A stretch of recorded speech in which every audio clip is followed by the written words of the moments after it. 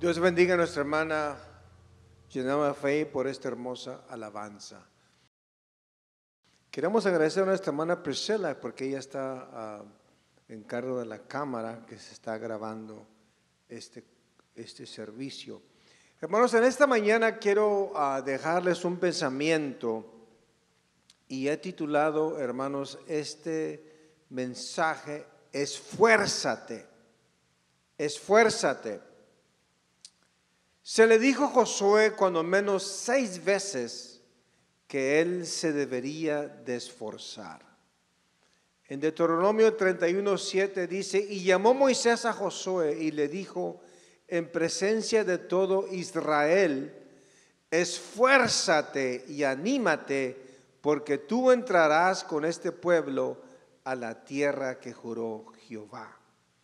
En Deuteronomio 31.8 dice, y Jehová ve delante de ti, Él estará contigo, no te dejará, ni te desamparará, no temas, ni te intimides.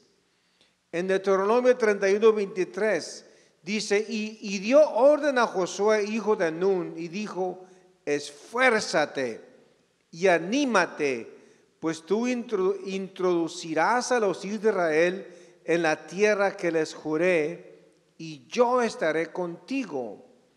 En Josué 1.6 dice, esfuérzate y sé valiente porque tú repartirás a este pueblo por heredad la tierra de la cual juré a sus padres que la daría a ellos.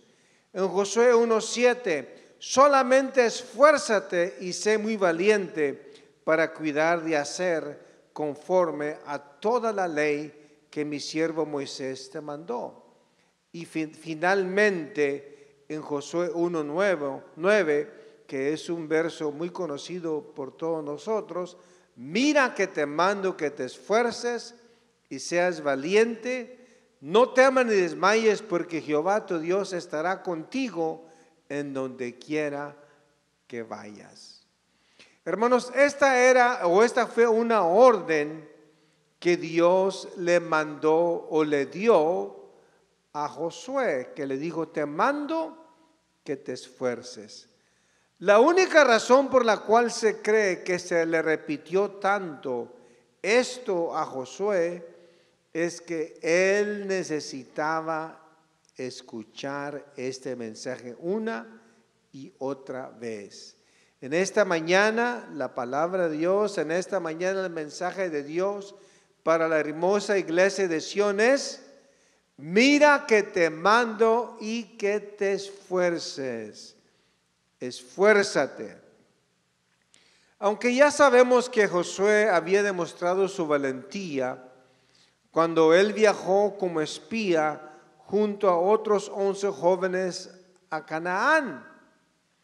Pero diez de los espías se acobardaron ante la grande oportunidad de posesionarse de la tierra prometida y dijeron, no podremos subir contra aquel pueblo porque es más fuerte que nosotros. Y hablaron mal entre los hijos de Israel de la tierra que habían reconocido. Lo que pasó con estos hombres, hermanos, es que ellos no habían aprendido a confiar en Dios. Ellos habían visto los grandes milagros, hermanos, todo lo que Dios había hecho con Israel, cómo los había sacado, hermanos, con, con brazo fuerte de Egipto, todo, todo lo que Dios había hecho por ellos, pero ellos no habían aprendido a confiar en Dios. Ellos pensaban que únicamente iban a confiar en sus propias fuerzas, pero no. Dios les había dicho, yo les voy a dar esta tierra por mi fuerza, por mi poder. Pero miramos a Josué y Caleb, que ellos sí estaban llenos de valor y llenos de temor de Dios. Y ellos dijeron afirmativamente, subamos luego y tomemos posesión de ella porque más podremos nosotros que ellos. Si Jehová se agradara de nosotros, Él nos llevará a esta tierra y nos la entregará. esta tierra prometida que fluye leche y miel. Estos hermanos miramos a, Josué y Caleb, hermanos que eran hombres positivos, eran hombres valientes, pero lo importante de ellos era que ellos confiaban en Dios. Es interesante de que todos los millones que salieron de Egipto únicamente entraron en la tierra prometida dos personas, Josué y Caleb. En estos días tan difíciles Dios nos está probando, hermanos. Dios nos está probando a ver si nosotros somos fieles con Él. Y porque es grande de lo que Dios nos va a dar, pero lo que estamos pasando ahorita es una prueba por Dios. Y voy a decir algo, Dios está limpiando su iglesia. Dios está limpiando su iglesia. Y únicamente los que tienen la devoción con Dios, únicamente los que son fieles, vamos a llegar. Yo no sé usted, pero yo que yo voy a llegar. En el nombre del Señor Jesucristo, yo voy a llegar con la fuerza de Dios, con la confianza de Dios. Entonces, en este día, Dios está diciendo, iglesia de Sión, esfuérzate. Esfuérzate porque es grande, es grande el premio que te voy a dar. Ahora, cuando miramos la, vida de Josué, eh, Dios lo estaba ubicando en otra etapa de su vida. Porque después que muere Moisés, Dios le ordena que Josué tome las riendas del pueblo de Israel y introduja, lo introduja a la tierra que fluye leche y miel. Y creo que por esta razón Josué se, había, se sentía abrumado y con mucho temor. Y él medía, ¿verdad? Él se miraba y decía, yo no, yo no, me, yo no me puedo igualar a Moisés. Moisés es un, es un gigante espiritual. Entonces Josué se medía a sí mismo y él no daba la medida. Y por eso Dios le había dicho, esfuérzate, mira que te mando que te esfuerces, seas valiente. Yo estoy contigo. Hermano, Dios es con nosotros. Iglesia de Sión, Dios es con nosotros. Pero cuando, cuando Moisés, cuando Josué miró a Moisés, ¿verdad? Moisés había sido su maestro, su mentor su entrenador y tal vez su padre espiritual. Josué sabía que Moisés era hombre valiente, intrápido, obediente y muy fiel. Pero el secreto del éxito de Moisés como líder era que este hombre había fomentado una relación muy íntima con Dios. La gloria y la presencia de Dios siempre respaldó a Moisés en estos días. Lo he estado repitiendo una y otra vez. Hermanos de Sión, iglesia preciosa de Sión, cada uno de nosotros necesitamos tener una relación íntima con Dios. Debemos de buscar a Dios todos los días. Debe de haber ese anhelo. Aleluya, por la presencia de Dios. Aleluya, el Señor sea la honra y la gloria. Como dice el Salmo 84, ¿verdad? Que había en ese salmista un anhelo, un anhelo, un deseo de estar, ¿verdad? Ante la presencia de Dios. Mi corazón y mi alma cantan al Dios vivo, porque en Él había esa devoción, ese deseo, esa sed, esa hambre de la presencia de Dios. Y en estos días eso es lo que necesitamos. Miramos a Moisés, hermanos, que en cierta ocasión, eh, eh, eh, ¿verdad? En la vida de Moisés, en cierta ocasión Dios estaba muy frustrado con el pueblo de Israel porque ellos se habían creado un becerro de oro y lo habían adorado. Y por poco el pueblo destruido si no hubiera sido porque Dios, porque Moisés apela a Dios por ellos. Entonces Dios le dice a Moisés, lleva a este pueblo a la tierra prometida y yo enviaré delante de ti al ángel. Ya dijo Dios, le dice a Moisés, hey, llévate a este pueblillo. Yo no quiero nada con ellos. Yo voy a enviar a mi ángel. Entonces Moisés, viendo el peligro de la ausencia de Dios, le dice a Dios, si tu presencia no va conmigo, no nos saques de aquí. En otras palabras, no nos moveremos si tú no vas con nosotros. Entonces, después de, buen rato, Dios le dice a Moisés, mi presencia irá contigo y te daré descanso. Así debe ser nuestra, nuestra vida, hermanos. Para cualquier cosa que vamos a hacer, cualquier decisión, debemos de consultar a Dios y decirle al Señor, Señor, ¿es esta tu voluntad? ¿Es tu voluntad que yo haga esto? Yo te necesito, yo necesito tu presencia que vaya conmigo. Y cuando Dios está hablando que le iba a dar a Moisés descanso, Él estaba hablando de la paz, de la tranquilidad, del sosiego y la quietud que Moisés necesitaba para lidiar con esta gente de Israel. Moisés necesitaba el descanso de parte de Dios.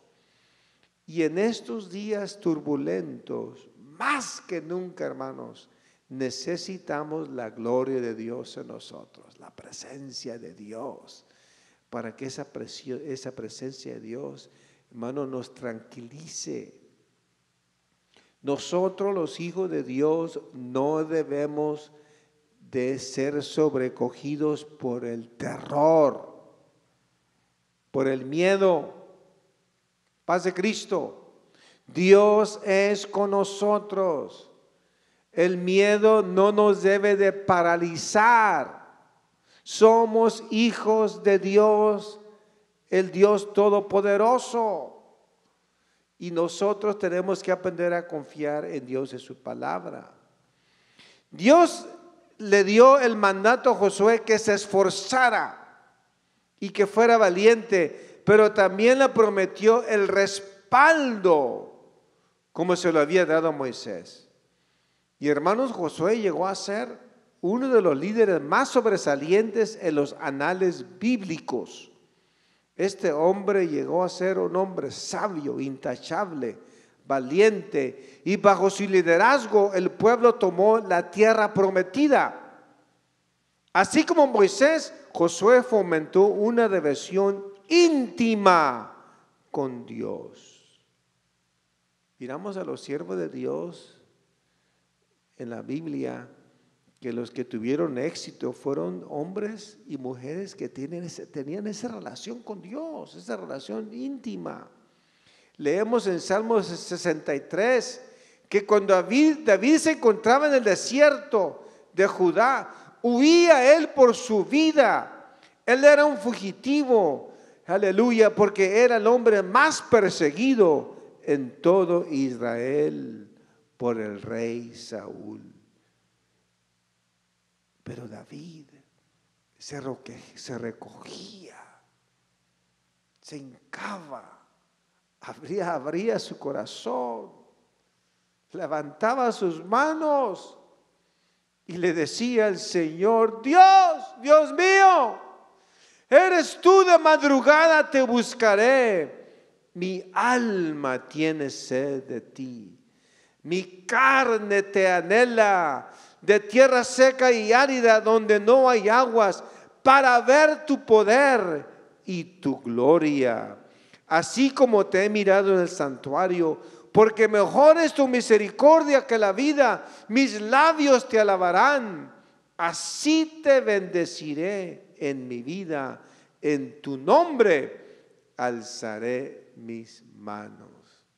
Hermano, es tiempo de que usted se levante en la madrugada y clame a Dios así como lo hacía David, para ver el poder y la gloria de Dios. En el Salmo 73, 25, otro salmista también con el mismo deseo de ver la gloria de Dios. ¿A quién tengo yo los cielos sino a ti? Y fuera de ti, nada deseo en la tierra. Hermanos, esta, esta debe ser nuestra postura. De tener, eh, ¿verdad? Ese deseo de ver a Dios, estar con Dios. Y vuelvo a repetir, más que nunca necesitamos tener la presencia de Dios en nuestras vidas, más que nunca. Hermano, Dios desea establecer una relación íntima con nosotros, sus hijos. Dios anhela, Dios anhela entablar una amistad estrecha con nosotros.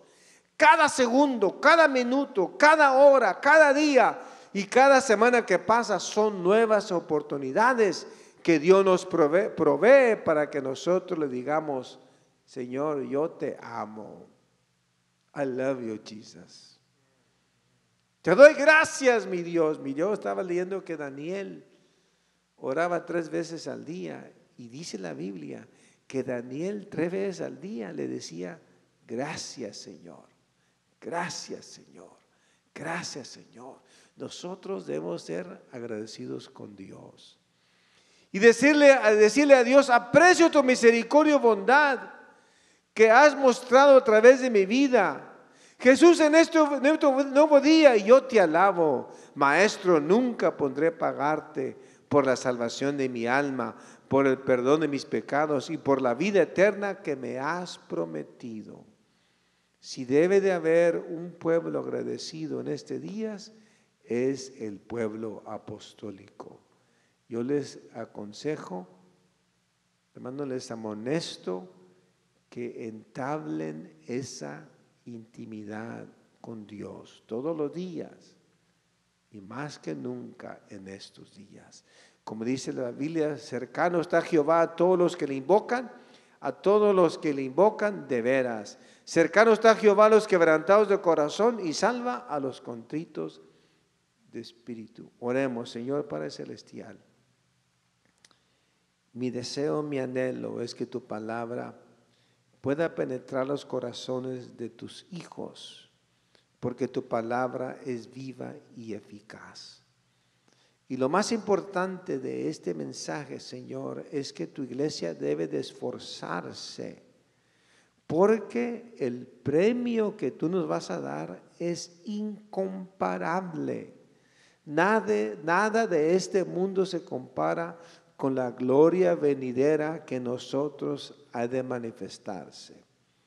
Yo te pido, Señor, que inyectes a mis hermanos de ánimo, a los que están desanimados. Señor, que tú les des pensamientos positivos, de fe, de esperanza, de confianza. Y que tú les muestres sobre todo, Señor, como le dijiste a Josué, no te dejaré no te desampararé, estaré con vosotros todos los días de tu vida. Amén. Hermanos, Iglesia de Sion, Dios les bendiga. Enseguida vamos a recibir al, al asistente pastor hermano Liam Maffei con el mensaje en inglés. Praise the Lord, um, everyone. Hermanos Paz de Cristo, estamos uh, agradecidos con el Señor. We're thankful to the Lord for His presence, por su presencia, por su amor, por su fidelidad, because God is faithful and God is good. Uh, we thank God for our pastor and sister Connie, and our prayers are that the Lord continue to strengthen them.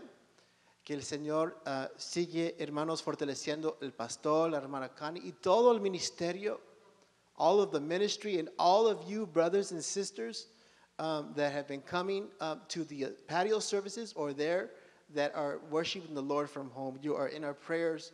We love you very much. We miss you. And in the powerful name of Jesus, we will be able to come together once again and worship God within four walls. Amen. So I'm going to invite you to just pray with me and pray for His word. Um, let's go before the Lord right now. Lord Jesus, we give you praise and honor and glory. We thank you Once again, we come, Lord, before your feet. We come, Lord Jesus, before your throne, giving you honor and glory. Thanking you, God, because you have never left us, nor, Lord, will you ever forsake us, but you are with your children.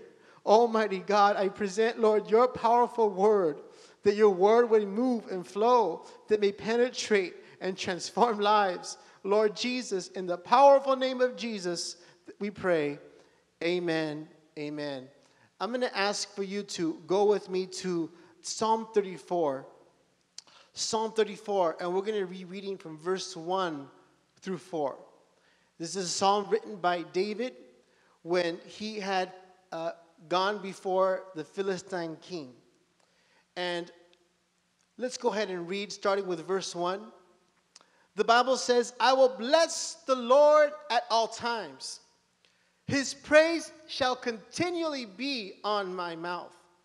My soul shall make its boast in the Lord. The humble shall hear of it and be glad. Oh, magnify the Lord with me, and let us exalt his name together.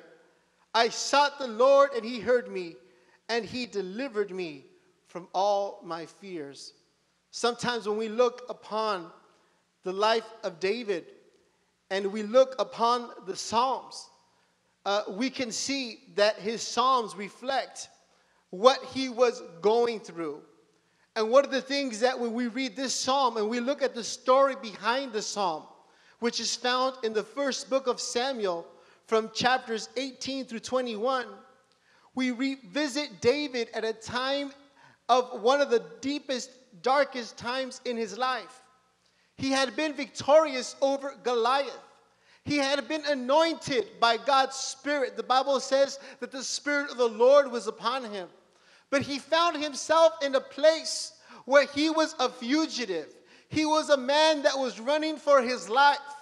Every single day was unpredictable because King Saul had been disobedient and he had become an evil king who at once was a, a, a mighty warrior.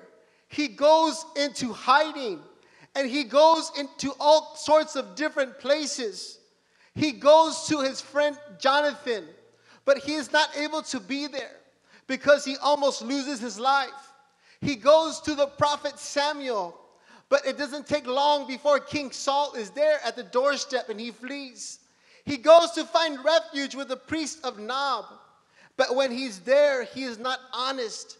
He, he makes a couple of, uh, he commits a couple of errors of truth and he lies and he eats the bread that he's not supposed to. But there before him, he is presented with something. He asks for a weapon because he has no weapon in his hand and he's running for his life. But it is the priest that tells him that the weapon that is there, wrapped in a cloth, is the sword of the giant Goliath. David says, There's no sword like it, give it to me.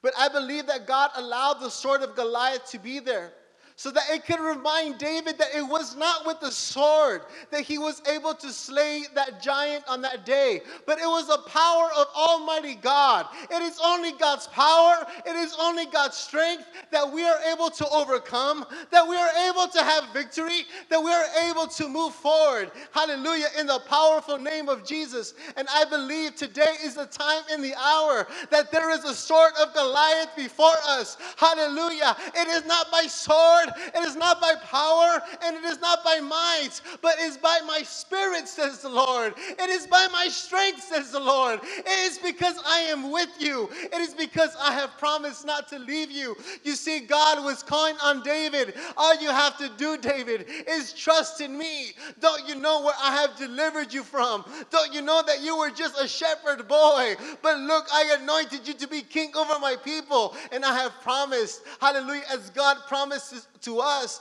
that He is with us. We see that David goes and he ends up in the hometown of Goliath and he's before a Philistine king.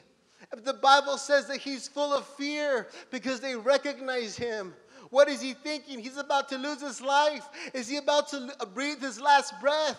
But then he starts to come up with an idea. If I act crazy, if I act like a madman, if I let saliva run down the beard, if I do this and I do that, then he's going to let me go. But we see that indeed, hallelujah, God makes a way for David to be set free, and his life was spared one more time. David was looking in all the right places, excuse me, all the wrong places, and he was sinning. He was not trusting. Hallelujah. But God saw him through. That is something that is consistent with God's word. Because Second Timothy 2:13 says, even when we even when we are faithless, even when we have no faith, God remains faithful because God cannot deny himself. Why not? Because the very nature of the God that we serve, not is he only is he a God of love, not only is he a God of everlasting power, but he is a God that is faithful. He is true to his character. He is always going to be faithful. He is the one that is always there, and he is the one, hallelujah, who never leaves. David recognizes God's faithfulness. And hallelujah, one thing that we need to do every single day is realize that God is faithful, that realize that we are not trusting in a man, we're not trusting in knowledge, hallelujah, but we're trusting in Almighty God, hallelujah. Since the day that Jesus overcame death and Satan and sin, He achieved victory. He achieved victory once and for all. As, and as a church of the living God, one thing that we have to do every, every single day is remember that He is faithful. Remember that we can trust and we need to trust in Him. Remember that He is going to see us through. In Psalms 34, we see that King David, that David, he starts to break out in praise because he's responding to the events that had just occurred in his life when he was so close to death. He's responding to God's faithfulness and perhaps realizing that he had fallen short. Hallelujah. Yes, we, hallelujah, there are days, my brother and sister, every single day we're going to fall short. But what God is calling us to do is to begin to stand up and to begin to open your mouth and begin to dedicate your life in praise to God. And so that is why David begins to sing. He says, I will bless the Lord at all times. He says, I will bless the Lord at all times. His praise shall continually be upon my mouth.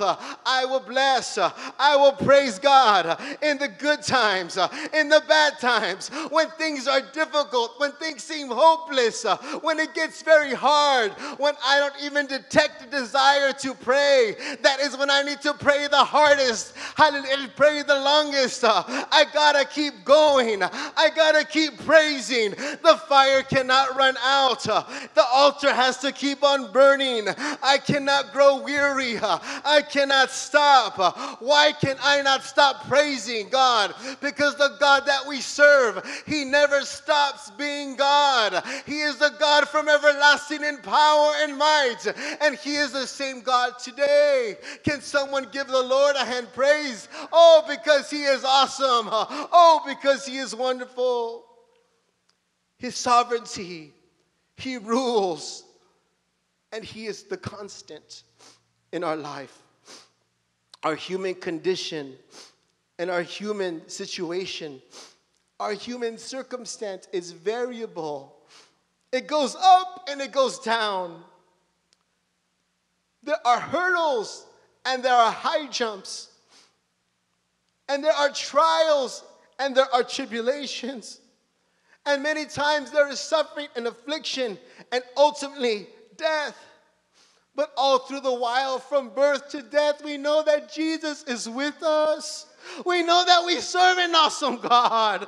We know that we serve the Almighty God. And we know that while things are going up and down, we can still count on Him to be that foundation rock. We can still count on Jesus to be that chief cornerstone. There was a story that I heard recently, and there was a woman who had she had dedicated her life to serving God, but she became very ill. And in her difficult hour, she was in bed and her eyes were closed. And she had some visitors that came by to see her, and her eyes were closed and clo- closed, and she seemed to be unarousable.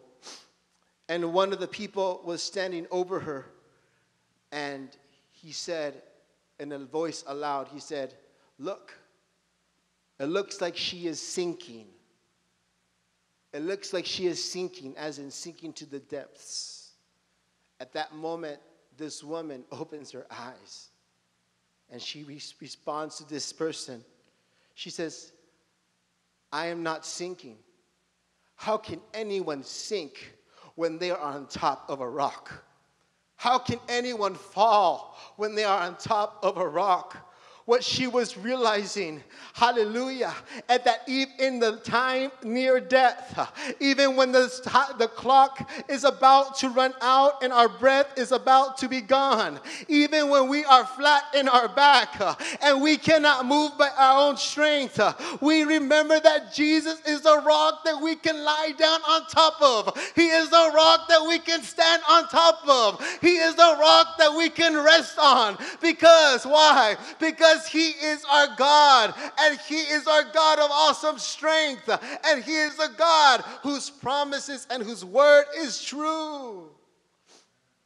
And it is upon that rock that God has called you and me to offer a continual praise to Him every single day. What come, what may, I need to keep my praise alive out of a Christ centered life, uh, out of a Christ dedicated heart, out of a walk that is aligned to His Word.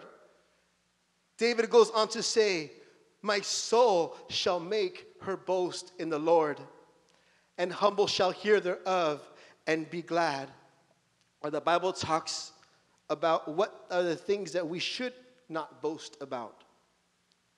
And Jeremiah says, Let not the wise man glory in his wisdom. How many people today are boasting about their wisdom? Let not the mighty man glory in his might, nor let the rich man glory in his riches. But let him who glories glory in this, God says. He says, that he understands and knows me.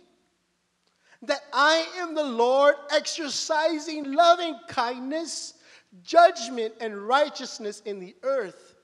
And then God says, For in these things I delight, says the Lord.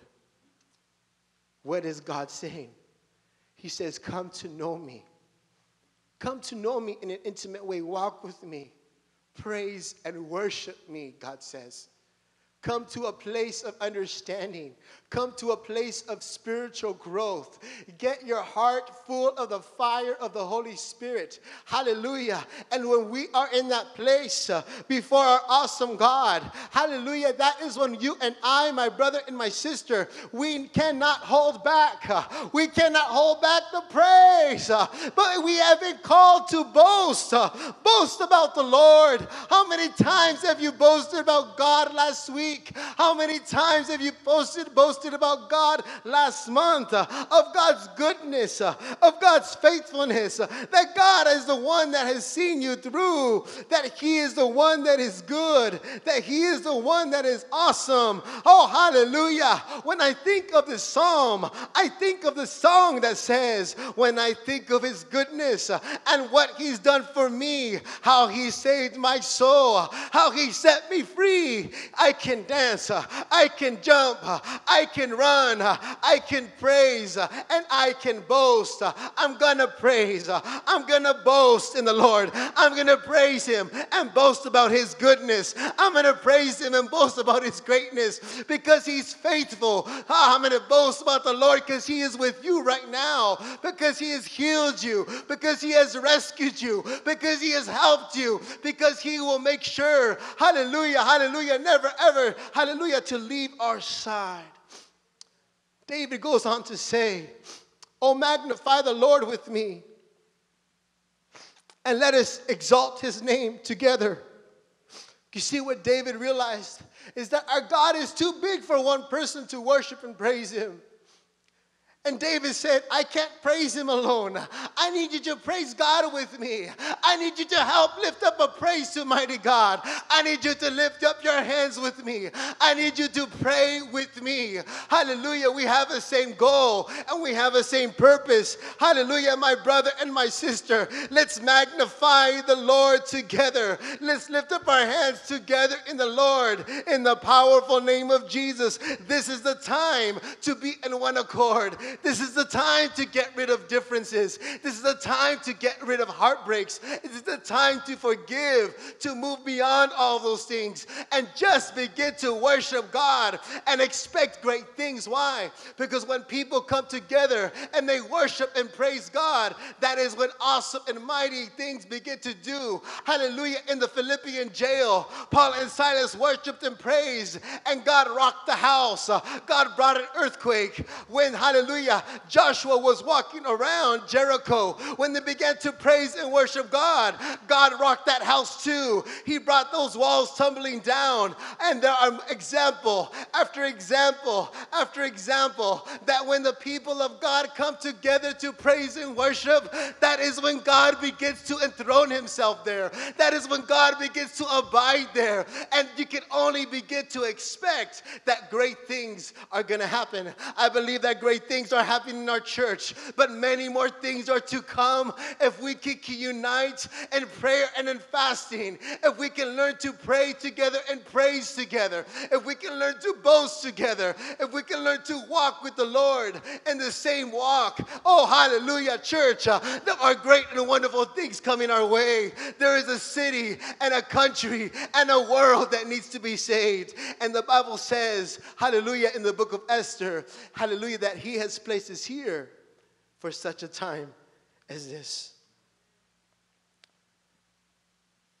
I invite you, my brother and sister, this week, make an effort with all your heart and strength. I'm going to make an effort with all my heart and strength to let there always be that praise, to let always be that worship.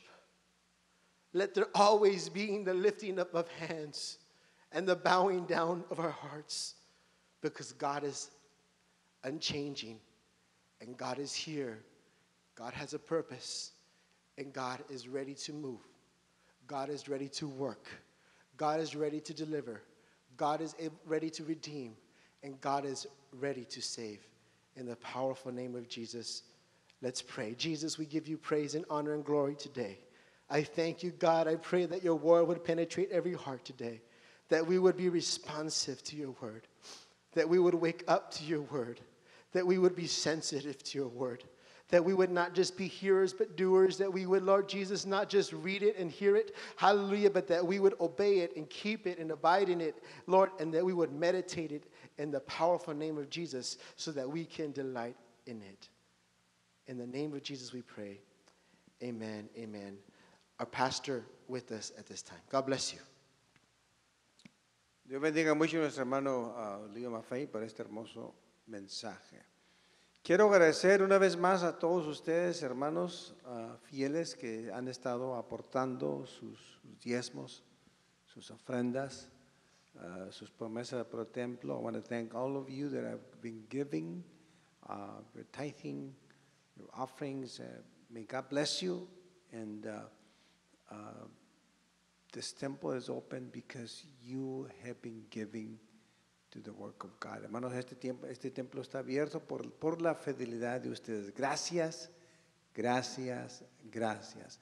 También eh, eh, quiero invitarlos, hermanos, de que mañana toda la iglesia a, la- a las 7 pm nos unamos en oración en nuestras casas, en sus casas. Júntese con sus hijos, su familia, a las 7 pm, apaga el televisor y dígale a sus hijos, vamos a orar. Los martes a las 7 y media pm, hermanos, quiere que, les pido que se sintonicen, hermanos, para el estudio eh, bíblico. Estoy tratando de darles a ustedes palabra de Dios. Hace dos, dos martes hablamos acerca de un solo Dios. Este martes pasado hablamos acerca de la veracidad de la Biblia, de la palabra de Dios. Y eh, este martes vamos a hablar también otro tópico, hermanos, que es importante para nosotros. Les invito, hermanos, a que ayunen un día esta semana y que se, ¿verdad? que se eh, recojan con su familia, ¿verdad? Y oren por cada familia de la iglesia. Vamos a orar por los enfermos, hermano Baltasar. Ah, vamos a orar por la hermana Jessie Vargas, hermana, Alvarado. Ah, vamos a orar por hermano Daniel Rodríguez. Vamos a orar por todos los enfermos, hermanos, que hay y oremos los unos por los otros. Vamos a hacer despedidos con oración. Señor Padre Celestial, gracias por este hermoso culto. Que tus hijos hayan gozado, los que estuvieron sintonizados, Señora, a este, este culto. Bendice sus vidas, bendice a cada familia de esta iglesia, bendice a los niños, los juniors, los jóvenes, las dorcas, los varones, las viudas, las madres solteras, los que están batallando económicamente. Señor, que tú suplas las necesidades y que tu iglesia siga adelante. Tuya es la honra, la gloria el poder en el nombre de Cristo Jesús. Amén. Hermanos, Dios les bendiga.